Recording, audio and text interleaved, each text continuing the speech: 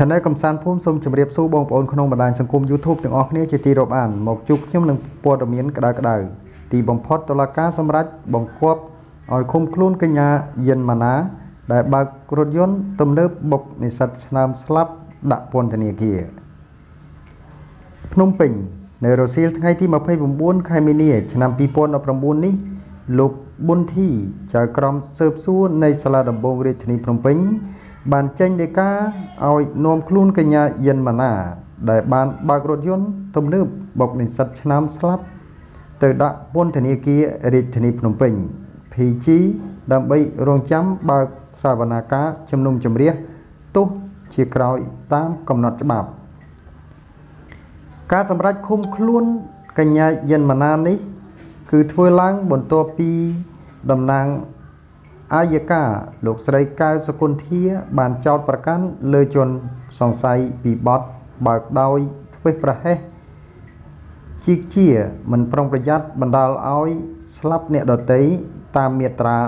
45នៃច្បាប់ចរាចរណ៍ផ្លូវគោកហើយបានបញ្ជូនបុគ្គលនេះនឹងសំណុំរឿងទៅចៅក្រមស៊ើបសួរដើម្បីចាត់ការបន្ត សូមរំលឹកថានៅព្រឹកថ្ងៃទី29ខែមីនា ឆ្នាំ2019នេះវេលាម៉ោងប្រមាណជា8ទៅ9ព្រឹកឪពុកជន់បង្កនឹងនាំកូនស្រីឈ្មោះយិនម៉ាណា ដែលជាអ្នកបើករថយន្តរងរវើបុកនិស្សិតឆ្នាំឈ្មោះឌុំរីដាស្លាប់នោះយកទៅប្រគល់ជួនសមត្ថកិច្ចនៅស្នងការដ្ឋាននគរបាលរាជធានីភ្នំពេញ ដើម្បីទទួលខុសត្រូវចំពោះមុខច្បាប់នេះបើយោងតាមមេធាវីក្រមគ្រួសារជួនបង្កប្រាប់បណ្ដាញសារព័ត៌មាន Fresh News នៅរសៀលថ្ងៃទី28ខែមីនាឆ្នាំ2019ការប្រកាសនាំកូនស្រីទៅប្រគល់ជួនសមត្ថកិច្ចនេះ បានធ្វើឡើងបន្ទាប់ពីលោកយៀនកិច្ចជាឪពុកបានសារភាពនៅចំពោះមុខសមត្ថកិច្ចថាកូនស្រីរបស់លោកឈ្មោះយិនម៉ាណា គឺពិតជាអ្នកបើកបររថយន្តរងរវើពាក្យស្លាកលេខភ្នំពេញ PAS ការ៉េ7បុកនិស្សិតស្រីឌុំរីដាពិតប្រកបមែនសូមបញ្ជាក់ថាកាលពីរសៀលថ្ងៃទី26ខែមិនិនាឆ្នាំ2019មានរថយន្តរងរវើពាក្យស្លាកលេខភ្នំពេញ 2RS ការ៉េ7មួយគ្រឿងបានបើកលឿនទៅ បុកនិស្សិតឆ្នើមម្នាក់នៅលើផ្លូវលេខ317កែងនឹងផ្លូវលេខ528ក្នុងសង្កាត់បឹងកក់1ខណ្ឌទូកោកខណៈជនរងគ្រោះកំពុងជិះម៉ូតូបណ្ដាលឲ្យទាំងម៉ូតូនិងមនុស្សប៉ើងស្លាប់ភ្លាមភ្លាមនៅនឹងកន្លែងកើតហេតុតែម្ដងនារីរងគ្រោះមានឈ្មោះឌុំរីដាអាយុ22ឆ្នាំស្រុកកំណើត ភូមិកំពង់ដំរីឃុំព្រែកតាម៉ាក់ស្រុកសាច់កណ្ដាលខេត្តកណ្ដាល ជានិស្សិតពូកែទូទាំងប្រទេស ខាងអសរសាស្ត្រខ្មែរហើយខិតខំប្រឹងប្រែងរៀនសូត្ររហូតទទួលបានអាហារូបករណ៍នៅសាលាផារ៉ាកនចំណែកជនបង្កត្រូវបានសមត្ថកិច្ចបង្ហាញអត្តសញ្ញាណប័ណ្ណហើយ ដោយនាង មានឈ្មោះយិនម៉ាណា ជាកូនស្រីរបស់លោកយិនកិច្ច ដែលបានលាក់ខ្លួនរយៈពេល2ថ្ងៃមកហើយ ដោយឪពុកចេញដោះស្រាយជំនួសមហាជនសម្ដែងការសោកស្ដាយឬ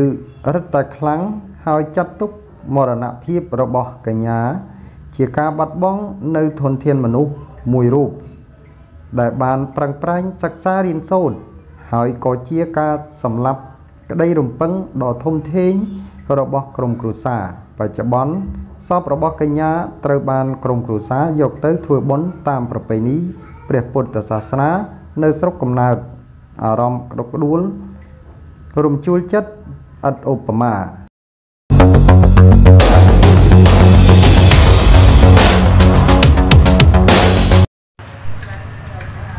សូមទស្សនាវីដេអូ